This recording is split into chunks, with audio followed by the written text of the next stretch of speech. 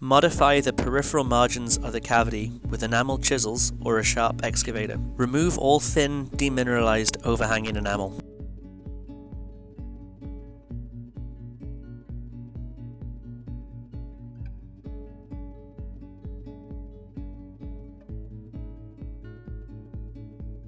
Use excavators to remove loose, carious dentin from the periphery of the cavity only. Ensure that the periphery of the cavity is cleared. There is no need to remove caries from the base of the cavity except to provide adequate depth for the restorative material being used.